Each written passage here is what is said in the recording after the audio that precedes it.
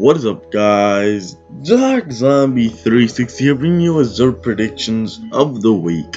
So what I think I could, wait, let's let's begin for Destiny right now. I'm not making a video in the tower and nothing else because the servers are down I'm gonna test it one more time.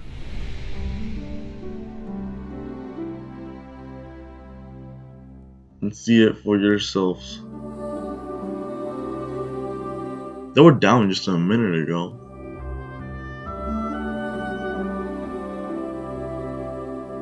Alright. Wow, it's loading. Hopefully it does load. Mm. For, um, I think for the Warlock, let's start out, let's start first with the Warlock, Hunter, and then Titan. Look at that. Destiny servers are not available. Dismiss this message to try again. For more information, visit help.bungie.net. Bungie, man, Bungie, what's going on? They're bringing, they're releasing a new update, I bet you.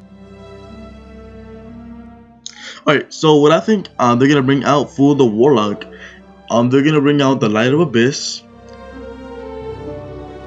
For the Titan, they're gonna bring out the Glass House. For the Hunter, the Bones of Eao. I'm not bad if I'm not saying the, the name right. Yeah, I think, yeah. For the weapon, I'm thinking they're gonna bring out the patient time or red death. But watch, I I don't you noticed, but every single video that Zerp like every single old old Zerp prediction videos, I always pick um icebreaker. Watch, I'm gonna pick this time patient time, red death. But look, they're gonna bring out the icebreaker. I bet you they are. For the exotic engram, they're gonna bring out probably the gauntlets. Yeah, because I haven't bring the gauntlets. I, don't think so. Yeah. I don't think they brought the gauntlets, gauntlets yet.